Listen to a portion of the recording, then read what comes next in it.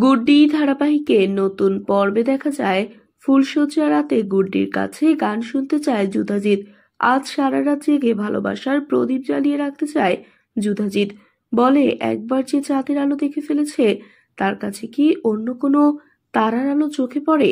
যুধাজিৎ চাকরি ছেড়ে দিতে চাইলে গুড্ডি বলে, ডাক্তার হলো ভগবানের মতো।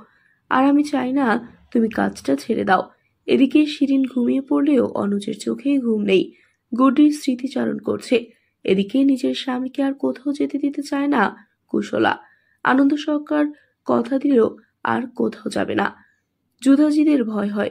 গুড্ডি যেভাবে অনাচারের বিরুদ্ধে লড়ছে, তাতে করে গুড্ডির যদি কোনো কিছু হয়ে যায়, তাহলে আমার কি হবে? এই কথা বলার পর গুড্ডি বলে, পাগলামি করো না। আমি কি এখানে সারা জীবন থাকব? আমারও তো বদলি হবে। আমি মাঝে মধ্যে যাব। তুমিও মাঝে মধ্যে আসবে। এটা ঠিক হয়তো আমরা পাঁচজনের মতো একে অপরকে কাছে পাবো না। এদিকে গুড্ডিকে নিয়ে এখনও সংশয় রয়ে গেছে। অনুজ শিরিনকে বোঝাতে থাকে, কিন্তু শিরিন কিছুই বুঝতে চায় না। শিরিন জানতে চায় তোমার মন ভালো না থাকার কারণ কি গুড্ডি? এসব নিয়েই বিতর্ক চলে অনুজের সাথে। কেন অনুজের ঘুম আসে না?